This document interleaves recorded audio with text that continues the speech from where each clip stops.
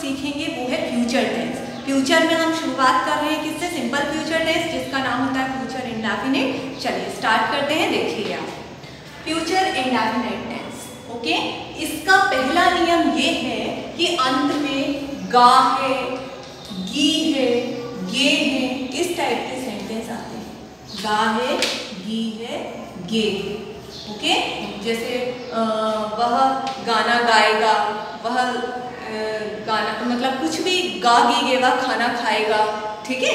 इस टाइप के गा गी गे, इस टाइप के अगर सेंटेंस मीन्स फ्यूचर भविष्य में होगा वो काम, अभी हुआ नहीं है, होने वाला तो उसके लिए हम फ्यूचर इंडेफिनाइट टेंस का यूज़ करते हैं, यानी अंत में गा गी गे आता है ओके ओनली गा गी गे याद रखिएगा आप, गा गी गे ओके लास्ट में वह खाना खाएगा, वह गाना गाएगी, वह स्कूल जाएगा। इस टाइप के अगर सेंटेंस आए तो वो फ्यूचर इंडेफिनाइट टेंस होता है। ओके पहली चीज़ तो ये हो गई। दूसरा, आपको ये याद रखना है कि इसमें शेर या फिर दिल का यूज़ होता है। अब इसमें दो आपको सहायक क्रियाएँ रही हैं। एक है शेर और दूसरा है दिल। पूरे फ्यूचर टेंस में, जितने भी फ्यूचर टेंस है, उसमें यही चीज़ इंपॉर्टेंट है हेल्पिंग वर्ब अगर किसी चीज़ में गलती की जाती है तो किसमें की जाती है हेल्पिंग वर्ब में। चलिए तो ये कॉन्सेप्ट अगर आपका क्लियर हो गया तो आपको टेंस इस टेंस में कोई प्रॉब्लम नहीं आएगी तो मैं आपको बताती हूँ, आपको जो शेल का यूज़ करना है ना सेल का यूज़ होगा आई और बी आई और बी के साथ हम यूज़ करते हैं शेल का। ओके ठीक है? और बाकी जितने भी हैं, बाकी क्या क्या बचा है? ही बचा है शी बचा है इट बचा है। चाहे वो एक वचन हो या बहुवचन, आपको ये चीज़ याद नहीं रखनी है। बस ये याद रखना आई और बी के साथ तो हम शेल का यूज़ करते हैं और ही शी इट ठीक है? यू बी तो यहाँ पर आ गया। दे किसी का नाम आ गया चिल्ड्रंस आ गए। बाकी मतलब जो भी चीज़ें हों, बस आई और बी को छोड़ के। आई मीन्स में बी मीन्स हम। इन दोनों चीज़ों को छोड़ के बाकी जितनी भी चीज़ें आए ना, आप उसमें किसका यूज़ करेंगे? बिल का ओके शेल का यूज़ आई और बी के साथ होता है। बाकी सभी के साथ जितनी भी चीज़ें हो, सिर्फ़ यही नहीं जो मैंने लिखी है, बाकी जितनी भी चीज़ें हो, उनके साथ भी हम किसका यूज़ करते हैं? बिल का यूज़ करते हैं। बट लेकिन अभी भी ये चीज़ खत्म नहीं हुई है ओके आपको ये पता होना चाहिए विल और शेल जो होते हैं, वो एक मॉडल वर्ब है। कौन सी वर्ब है? मॉडल वर्ब इसीलिए ये चीज़ें हम वैसे नॉर्मली तो यूज़ करेंगे बट अगर सेंटेंस इस टाइप का हो कैसा कि जिसमें पहली चीज़, पहला दृढ़ संकल्प हो, दृढ़ संकल्प ओके दूसरी चीज़, अगर मैं किसी से प्रॉमिस करूँ या कोई किसी से प्रॉमिस कर रहा है कि ऐसा काम करना है तो प्रॉमिस अगर हो रहा है तो वहाँ पर, ठीक है? और तीसरी चीज़ आपको याद रखनी है कि अगर अपन किसी को धमकी दे रहे हैं, धमका रहे हैं कि तुम ऐसा करो, वरना मैं ऐसा कर दूँगी। ठीक है? इस टाइप के जो सेंटेंस आते हैं ना, उसमें ये रूल उल्टा हो जाता है। ओके आई वी के साथ आप बिल का यूज़ कर दोगे और बाकी सभी के साथ आप किसका यूज़ करोगे? शेल का। ठीक है? तो आपको ये याद रखना है, वैसे नॉर्मल सेंटेंस रहेंगे तो आपको किसका यूज़ करना है? आई के साथ में शेल का और ही शी इट एक मतलब बाकी सभी के साथ आप किसका यूज़ करेंगे? विल का। बट अपोजिट कब हो जाएगा?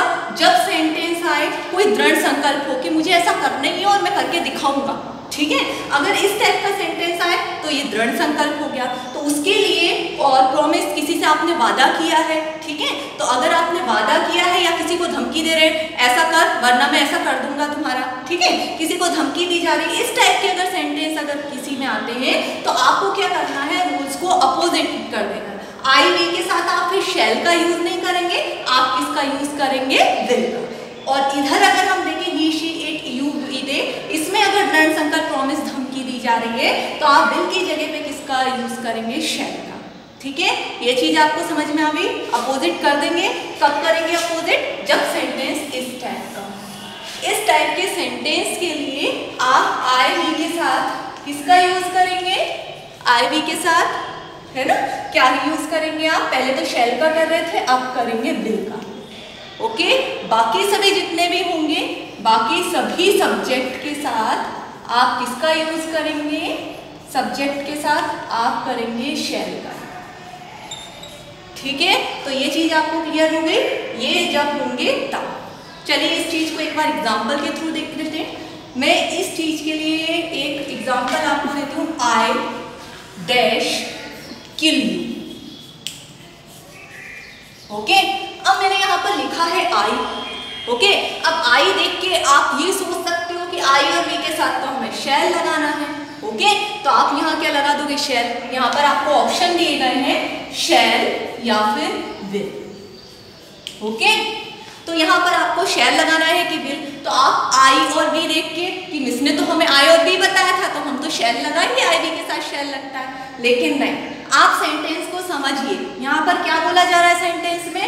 आई डैश किल यू मैं तुम्हें मार दूँगा या मार दूँगी. तो यहाँ पर जो होगा, यहाँ किसी को धमकी दी जा रही और धमकी दी जा रही है, यानी सेंटेंस अपोजिट हो जाएगा। यहाँ पर आप शैल का यूज़ नहीं करेंगे, आप किसका यूज़ करेंगे? विल का। तो आई विल किल ओके तो इस तरह से आपको ये चीज़ें ध्यान रखनी है कि इस टाइप की अगर चीज़ें हों तो उसमें शैल का विल हो जाता है। विल जहाँ यूज़ होता है, वहाँ पर शैल यूज़ हो जाता है। ओके चलिए, ये चीज़ें आपको समझ में आ गई होंगी। चलिए, अब तीसरा नियम देखते हैं।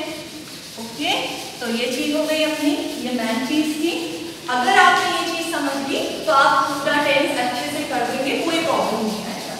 ओके तो ये हो गया अपना शेल विल ठीक है? हेल्पिंग वर्ब कब यूज़ की जाती है, वो मैंने बता दिया आपको।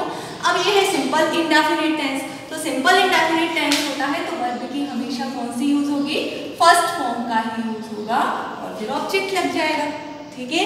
अब इसका जो, अब आते हैं फॉर्मूले पर तो फॉर्मूला होता है सब्जेक्ट प्लस शैल लगेगा विल या शैल फिर लगेगी वर्ब की फ़र्स्ट फॉर्म और फिर लगेगा ऑब्जेक्ट ये रूल्स आपको याद रखना है और आप आसानी से इस चीज़ को कर देंगे ओके जैसे, वह स्कूल जाएगा ओके यहाँ पर लिखा हुआ है, वह स्कूल जाएगा तो वह लड़का है या लड़की है? क्या है? लड़का, ठीक है? तो और बाकी ये आ रहा है आप यहाँ पर ही लिखेंगे, है ना? अब दिल या शहर में से हम क्या लगाएँगे? ये ना तो धमकी है, ना दृढ़ संकल्प है, ना कोई को धमकी दी जा रही है। तो आप क्या करेंगे? ही के साथ क्या लगाएँगे? विल। ही विल, फिर हम वर्ग की फ़र्स्ट फॉर्म पे आएँगे। जाने का फ़र्स्ट फॉर्म क्या होता है? गो और कहाँ जा रहा है स्कूल तो यहाँ पर आ गया स्कूल ओके दूसरा है अब आपको अगर क्वेश्चन यही आ जाए वह स्कूल नहीं जाएगा वह स्कूल नहीं जाएगा। ठीक है? तो अगर यहाँ पर आ गया नहीं तो नहीं आ गया तो सहायक क्रिया के साथ आप क्या लगा देंगे? नॉट लगा देंगे। ओके? तो यहाँ पर आपका he will not go to school okay? तो ये चीज़ हो गई आपकी। अब सेंटेंस इस टाइप का भी आ जाते हैं। ये दोनों हो गए। अब एक क्वेश्चन वाले देख लेते हैं हम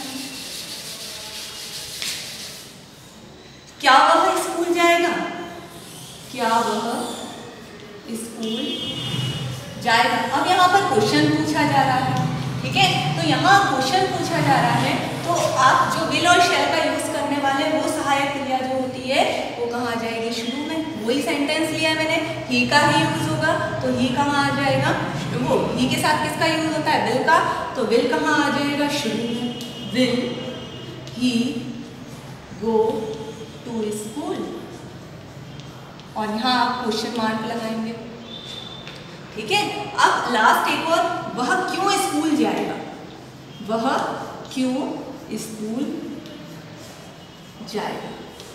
अब क्यों कहाँ पर आया है बीच अगर क्या क्यों कैसे अगर शुरू में है तो, तो हम सहायक क्रिया शुरू में ले आते हैं। लेकिन अगर क्यों बीच में आया है या क्या बीच में आया हुआ है तो उसको क्या बोलते हैं? क्यों को इंग्लिश में क्या बोलते हैं? वाई ठीक है? तो वाई तो आपको सबसे पहले क्या लगाना पड़ेगा? वाई अब वह लड़का है, ही ही के साथ जो सहायक क्रिया होती है, वो कहाँ पर आएगी? शुरू में, लेकिन बाई के बाद।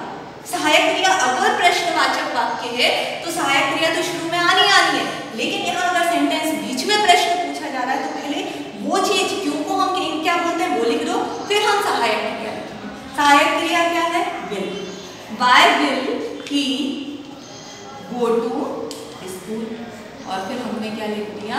क्वेश्चन मार्क ओके इस टाइप से ये सारे एग्जाम्पल्स हैं।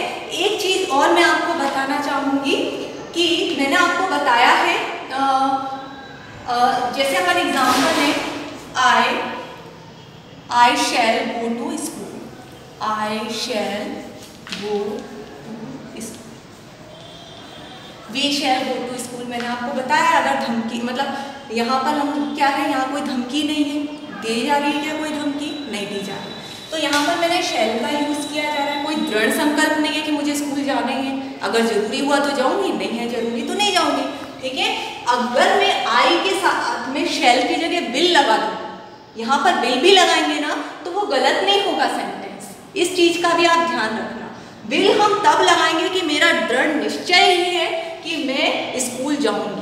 और कोई ऑप्शन ही नहीं है। जब अपना दृढ़ संकल्प होता है किसी चीज़ का, तब हम इधर बिल भी यूज़ कर सकते हैं। ओके तो बिल का यूज़ यहाँ पर किया जा सकता है, वो गलत नहीं है, लेकिन तब ही किया जाएगा जब हम उस चीज़ के लिए दृढ़ संकल्प हो कि हाँ इसके अलावा कोई चीज़ होनी ही नहीं है।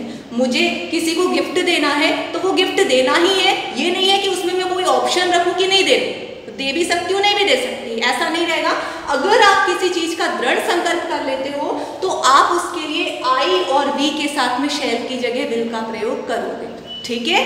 ये चीज़ आप ध्यान रखेंगे। चलिए, अपना ये टेंस फिनिश होता है। अब आप इसके एग्ज़ाम्पल कुछ प्रैक्टिस कीजिएगा। ओके अगली क्लास में मैं अगले टेंस समझाऊँगी। धन्यवाद।